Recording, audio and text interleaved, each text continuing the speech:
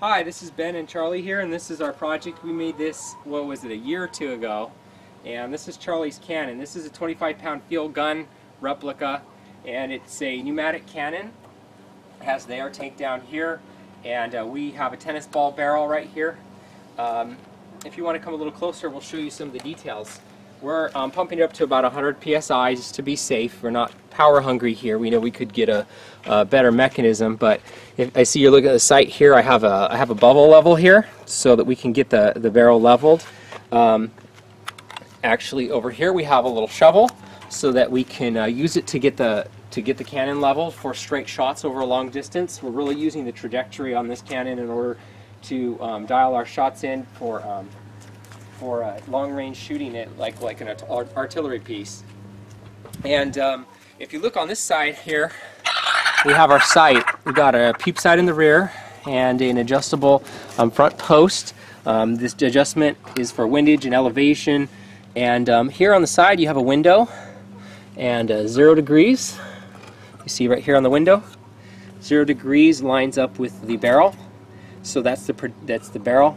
And then through our sighting window, we're able to dial into a target and we're, we're able to read our elevation uh, that the barrel is above horizon right there. Um, from there, we're able to change the angle of our barrel onto the target. And so if we shoot our first shot and it doesn't hit the target, we then take our sight, we move it to where the first sight did hit, and then we adjust the um, elevation of the barrel until the sight is back on the target again.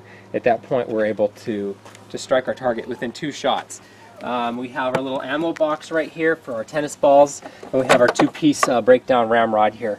So, Charlie, why don't you back up here and um, okay. we'll hook our gun up, and we're going to pull it down the hill and take some shots with it. Move her into position.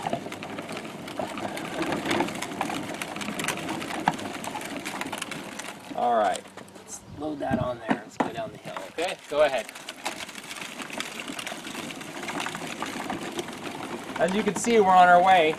Now, once we get back down that hill, we're gonna we're gonna um, start filming again and show you some shots.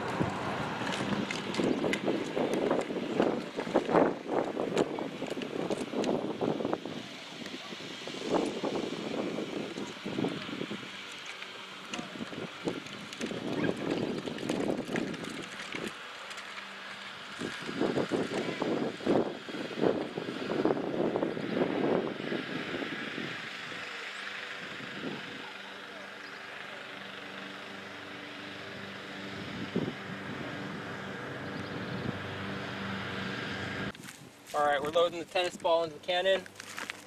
We never load when we're pressurized. We always make sure that there's no pressure in when we load for safety reasons. Let's unstrap the, the rod. What's that, son? Alright, here we go loading the cannon here. We never want to load when there's any pressure in the barrel whatsoever, just in case we have any issues. There we go. Let's go ahead and pull the rod out, sir, son. Thank you. Alright. Yeah, I know, but we first we gotta pressurize it up. You can push the button.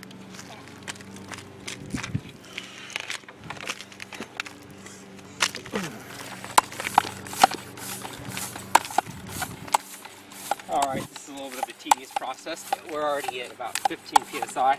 We're gonna get up to 100. It's a level. Yeah, I got the cannon level, and if you look at the sight, it's dialed in on the target. You want to take a look at the sight, Robin? Should be pretty close anyway. You might have moved it a little bit. You see that wooden board over there? And as I recall, this is 50 yards. And as I recall, we're shooting at an angle of about 6 degrees.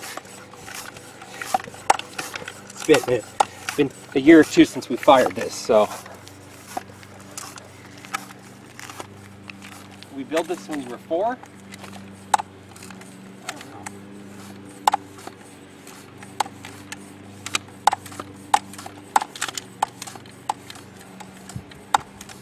All right.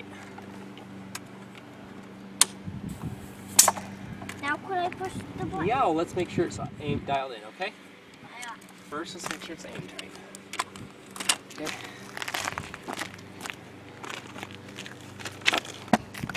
Okay. Oh, we're not quite on the target.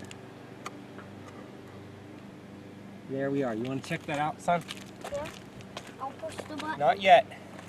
Through the camera, I couldn't see that far out, so I don't know if That's I got it or not. That's fine. You got it on? Yes. It's at the bottom. All right. I don't want you to fire this until I go over there because I want to watch where the tennis ball bounces so we don't lose it. There's tall weeds. Okay? You wait. Don't shoot me. Yeah. And you told me when.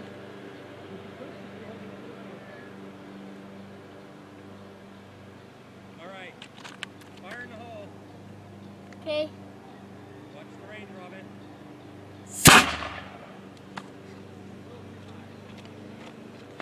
Do you hear that? That was pretty big. That was really neat, huh? Yeah. All right, so the first shot, we had it set for six degrees elevation. What we're dealing with here is is that the, the um, tennis ball impacted above where our target was because I haven't shot this in a year and I couldn't recall what degrees of elevation this is supposed to go to. So in order to, to put our next shot on target, what we have to do here is take the sight and instead of putting it on the target, we move it up to where our tennis ball impacted. So we saw where our shot went. Actually, that's that's quite a few less degrees. That's more like one degree. So I really overestimated what I was doing here. Now what we do is we move the elevation of the barrel down to where our sight is on target once again, and then we're going to shoot at that target. All right, Charlie, I'm going to let you shoot at that once I go out there, okay? Okay.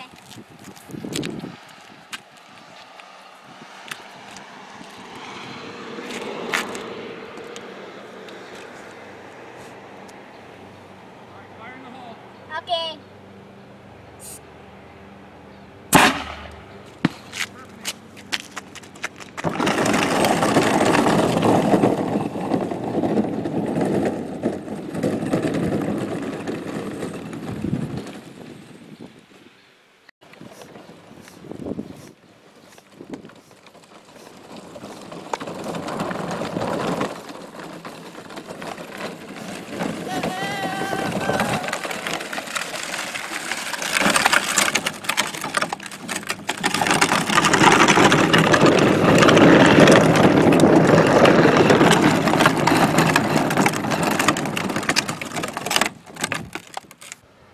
Okay, fire in the hole.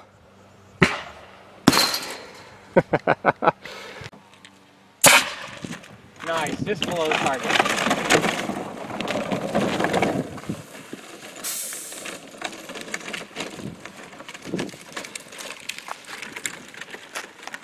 Going to get go find both of them, please.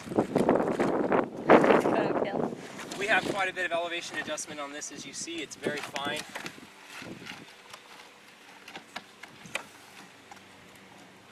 Were shooting at one degree elevation in order to go 50 yards with tennis balls. We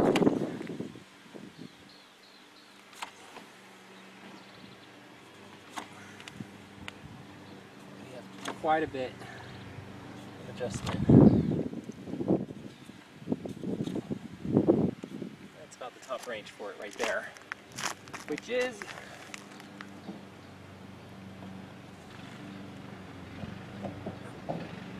about 27, 28 degrees above above that angle right there. Can you find it?